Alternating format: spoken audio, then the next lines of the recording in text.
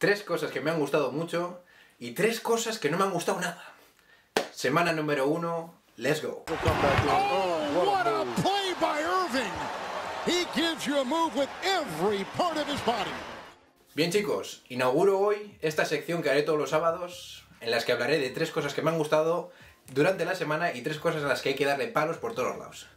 Voy a empezar con lo bueno, con lo mejor, y si hablamos de lo mejor tenemos que hablar de Kawhi Leonard, que ha vapuleado a dos de los eh, gallitos de la NBA, a Golden State Warriors y a los Lakers, sobre todo a LeBron, porque no sé si lo sabéis, pero durante la semana previa a este partido ha habido un montón de banners, un montón de publicidad diciendo que gana este partido es el rey de Los Ángeles, y yo he de decir que yo me esperaba un poquito más de LeBron. Luego hay gente que dice, no, a ver, LeBron sabe que esto es un, un juego a largo plazo, que tiene que jugar sus cartas, tiene que demostrar a Anthony Davis quién es el mejor jugador de, este equipo o sobre quién vamos a construir. Y eso lo entiendo, pero cuando alguien viene como Kawhi Leonard y te dice, no, no, el reino es mío, pues yo al menos hubiera esperado un poquito más que 18 puntos. Pero bueno, no, no fue así, pero, pero es lo que hay.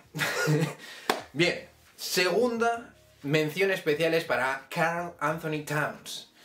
Bien, Towns, es verdad que han sido dos partidos muy fáciles, sobre todo el último contra Charlotte, pero son 36 puntazos, 12 rebotes. Y encima, en el primer partido contra Brooklyn, triplazos por todos los lados, o sea, 61% es digno de mención. Sobre todo ganando a Kyrie Irving en esa pedazo de canasta que hubiera sido la hostia si la llega a meter. Pero bueno, Carl Anthony Towns, me gusta tu rollo, let's go.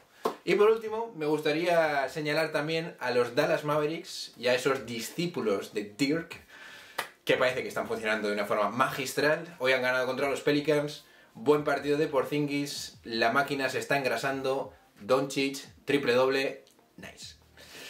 Así que nada, vamos a dar a los peores de la semana. Alguien lo tiene que decir ya, porque sé que lo, estás pensando, pero no te atreves a decirlo. Mike Conley. No está funcionando. No está funcionando nada. Eh, malos porcentajes, no asume muchos tiros, supongo que estará un poco ¿Qué chorras esto? Utah, que hay mormones, ¿qué es esto? Bien, pues Conley mmm, de momento lo está jugando como una estrella y si eso ocurre, os voy, a, os voy a decir un pedazo de Aitoyo a mitad de temporada cuando Utah igual esté fuera de playoff y entre un poquito por la puerta de atrás. Yo espero que se recuperen fuera bromas. Gobert sigue siendo el arma defensiva que fue siempre. Y no sé, no hay razones para entrar en pánico, pero es Conley sube el nivel. Smokey Everyday, ¿o cómo es esto? Ayton ha sido pillado con diuréticos. Y los diuretics, como le dicen en Estados Unidos, sirven para enmascarar algunas sustancias. Así que yo no sé, no sé qué chorra estará tomando este tío, pero te han pillado 25 partidos. Y es raro que se lo hagan a un jugador eh, tan importante como para un equipo. Normalmente han sido jugadores, pues Michael Beasley o cosas así, pero a Ayton me, me ha sorprendido. 25 partidos fuera y va a llegar un día que Booker va a decir, oye, qué broma es esta. Llevamos 7 años aquí, no hemos llegado. Yo creo que el máximo número de victorias habrá sido 32, 33. Bueno, en fin. Y luego, por último, a Brick de My Closer. Los Knicks. Vamos a ver. O sea, es que al principio de temporada lo único que quería es que tuvierais una dirección, que supierais lo que estáis haciendo, pero ahora me estáis intentando explicar que Dennis Smith Jr. primero no sea ni titular. O sea, un tío que has pagado por traer, porque has dado a Porzingis. Y ni siquiera es titular. Luego sale Trier desde titular el primer partido y no juega más que 5 minutos también. Luego, otro jugador que es tu verdadero verdadera joya, que es Knox, tampoco juega. o sea, no sale ni de titular. Vale, que igual a promedia 25 o 30, pero ¿por qué no sale titular? En fin, los Knicks, no tenéis ni idea de lo que estáis haciendo y encima es mi equipo y me toca mucho las narices. Así que nada, mención especial porque os la merecéis.